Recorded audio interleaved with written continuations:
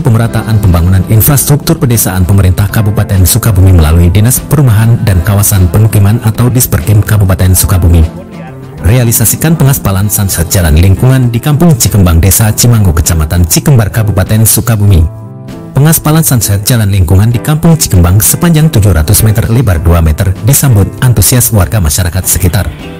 Saat ini pengaspalan jalan lingkungan telah selesai dan warga masyarakat sangat bersyukur karena pembangunan jalan ini sangat dinanti warga sejak lama.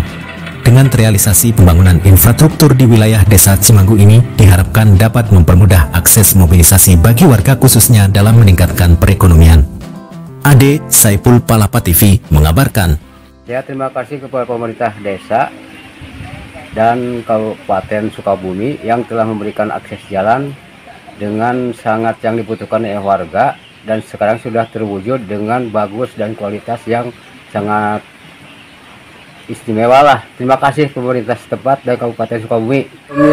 Terjadinya pembangunan jalan ini warga sangat mengeluh lah, terutama musim hujan dan waktu ada pembangunan jalan suka macet dan ada marter. Sekarang alhamdulillah dengan terwujudnya jalan yang sudah dilaksanakan oleh pemerintah dengan lancar dan sangat istimewa lah sukses gitu. Terima kasih pemerintah setempat.